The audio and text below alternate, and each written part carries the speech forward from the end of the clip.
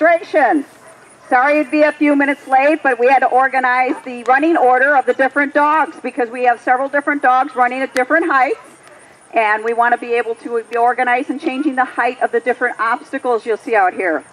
My name is Carol Ely. I represent K9 Team Training, which is representing this whole agility demonstration as a free ability for the handlers to get some practice. We call it kind of a fun match. In a fun match, the handlers can actually take toys and treats out with them. In a true agility trial, they are not allowed to do so. No toys, no treats. So that's why it's a little more fun. now, in a real trial, you'd have a similar setup as what you see here. What this is would be called as a standard course. I'll explain a little bit about the equipment before we start, and then throughout the runs of everybody's runs, I will explain different obstacles. But um, to start out with, I do want to mention that I teach the uh, home obedience and agility through John Logan College so that you uh, can find more information online or on their catalog. We also have some flyers over at that white tent to your far right. There's also, um, I don't know that I have, I don't have any information out right now. We had them here yesterday, but our local dog club, Crab Orchard Kennel Club. They have a dog show every August. So you might be interested in more information. You can always email me. I do have some business cards over there. You can always email me with any other questions. Now, we have um, just a little history. I'll just give you an update on agility, and then we'll get started. Agility was started in England in 1978, so it's been around for a long time. When it was brought over here, it wasn't AKC right off, but as AKC did begin to uh, start this up, they created specifications for the equipment. What you see out here is AKC standards. This is would be allowed in a trial. You do have to have items in a safe way. So if you should decide to go home, you get enthused with the agility and go, oh, I want to start doing this, I'm going to go jump my dog, there's some safety things we have to discuss. One thing is your dog might enjoy jumping to the back of a couch or over fences, but that's not repetitive. You don't want to do repetitive jumping, especially at the wrong height. Dogs are measured at the shoulder height. So the dogs you'll be seeing today will be measured will be running at their measured height or a little below, depending upon situations. Another safety concern is the age of the dog. If you have a young dog, dogs should be not jumping, should not be jumping full height until a, a little after one and a half years old. If it's a large breed, if it's a small breed, they can start a little earlier. The whole thing is that we need the uh, bones to finish growing. Now, uh, let's see. I just have a couple of things I got to buzz through here on here. We've got um, handlers of all si all ages. sorry, all ages are um, able to do agility. Even if you want to get into the tournament competitions, there's from the senior to the junior. We will have a junior here today, and you consider me and maybe, I don't know, probably the oldest one here, but there's seniors that do it of all ages. It's fun. We have exercise, the dog enjoys it, and you create a bond with them. It's available for both the pedigree and mixed breed, so it does not matter anymore. AKC used to be pedigree only, but now it can be either one, mixed breed or pedigree. Let's just flip the page, sorry. I'm trying to stay with this because yesterday I didn't stay with my notes and I forgot a lot. So, All right, I will start out though with an explanation that you will see out here that there is two separate courses. One is a novice course and one is more of an advanced type course. The yellow cones that you see are the novice. And what they'll be doing is a little bit different course because they're going to be guided into the six weave poles that are behind me. The advanced dogs will be doing the 12 weave poles. So you'll have some idea which dogs are more experienced. Now that's not to say they haven't been worked with the training, but it's what the handler would like to try and do. Now understand, these dogs are not used to, a, lot, a few of them are not used to working in an environment where there's public and distractions. So if a dog leaves the handler and runs to the line, especially if they see dogs along the edge, just ignore them, don't talk to them, please don't try to pet or anything else because that would only encourage the dog to do it again another time. And we are training while we're out here, where everybody's trying to train their dog so that they can go into trialing. So we're going to work with that. So you're going to see people stop, and if the dog didn't do an obstacle right, they're going to correct it. Some will, some won't. It depends upon the dog, the situation. What you'll commonly see is that as dogs are coming to the contact equipment, contact equipment has yellow on both sides. The A-frame, which is out there, and I know you're in a minute, you're not going to be able to hear me too well. The A-frame, is that large obstacle. It's got yellow on both sides. The dog has to get a foot in the yellow. Can you hear me at all? Okay. has to get a foot in the yellow or the judge will disqualify for that obstacle. The same thing goes with the dog walk, which is this large one directly behind me. It's got yellow on both sides. The only obstacle that requires yellow both on the up and the down in the new rules is the teeter. It's a safety precaution. So the dog must put at least one foot in the yellow down there and a yellow here.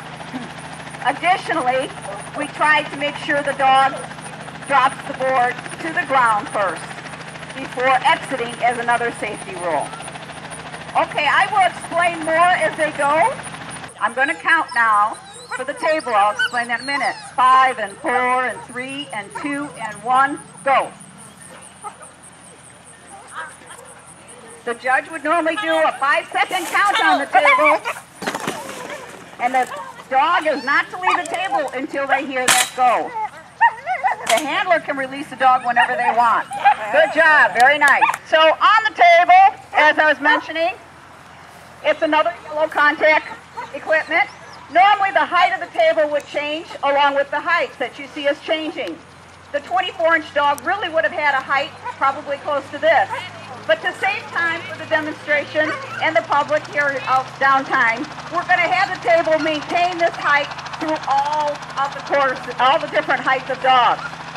Now, even the little eight-inch dogs normally would be almost to the floor, to the ground. So when you see the little dogs run and they have to hop up there, it's a bit of an effort. But we're only doing it for a short time during this course. And there you see she's doing the A-frame. The dog did hit the yellow.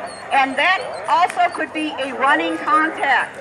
Some handlers will let their dog run the contact all the way down. Five and four and three and two and one, go. But if you do a running contact, you got to make sure you're going to be as fast or faster than your dog so you can direct them to the next obstacle. Now what she's doing is she's working to get the dog to do the correct entry and to continue weaving. The correct entry on the weave poles is the dog using their left shoulder between pole one and two. And then they are to continue on weaving each pole until they're done. There's even been competitions that would have a double weave pole 48. I forgot how many poles, but they double up the poles just to see who can get their dog to weave the most. Now the weave poles are one of the hardest of obstacles. We usually end up training it to completion after the dogs accomplish most of the other equipment. It's also very stressful on the dog's body, so we don't want to start that. Good job. And we don't want to start that when they're too young. We have here, the earlier dog I should have mentioned used to jump 24, but because it was retired, or uh, close to retirement, she's dropped it down to the lower height, which can be done as what's called preferred.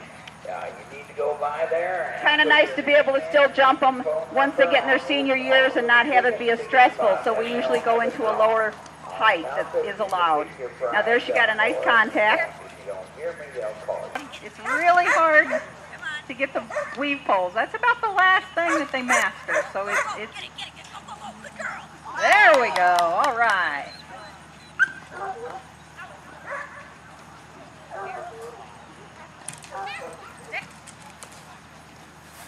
There you see the stop for safety purposes. We'll be changing the heights again. We'll also drop it down to 8 inches and we'll have some very small dogs running. In, we have heights all the way to 4 inches. So even the tiniest little dog, it can be a 2-pound dog, can actually run agility. You'll also see something as large as a Great Dane. So it doesn't matter what size a dog is, it can run. Want to explain a little bit about the chute? As you notice, fabric end makes it a little bit scary for the dog to go through since they can't see an opening. So it does take a little bit of training with that one. That's one of the unusual obstacles you'll see in a course. Second try on those weave poles. This is an unnatural thing for a dog to weave back and forth in poles, so it takes a while for them to figure this one out. Uh, agility obstacles are to be taken very quickly in the required direction. Now, when you watch those handlers out here, pay attention. You'll see different handling styles. We do front crosses, rear crosses, pivots, and many variations in between. The dog is watching our whole body. There'll be times that your feet are informing it, your shoulders, and your hand, and your voice. Is a lot of information. Sometimes you have to pick and choose because the handler hasn't got it right.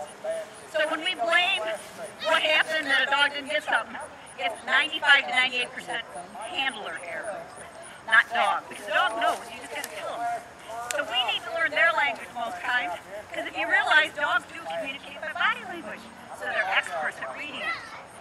We need to get that communication going, so that's something that we practice with. It's been used that way. Nice two on two off there. Like that stop. I'm going to take her ass. She did that last time. Yeah. You can explain that that's not wrong. Yeah, she ran around the table. In competition, that would be considered a refusal because she did not immediately get on the table. So that's why she redid that. We're practicing here. We don't want to start any bad habits. Sorry, but it's kind of hard when you got to run a dog in between each time, got to get a breath. I got to, I got to reward the dog. I mean, I could stop right there, turn around and start talking to you, but it wouldn't be right to the dog. Yeah. But I stop. You play with the toy. You can do tug, whatever it might be, and, and reward with your treat. You've got to remember, even if you're training with an instructor, and the instructor wants to talk to you, walk over, oh, you reward that dog because they're working for you not for the instructor. And You've got to make sure that team bond stays in there. Now, okay, that pretty much uh, concludes what we have. I want to thank all our handlers for their voluntary time.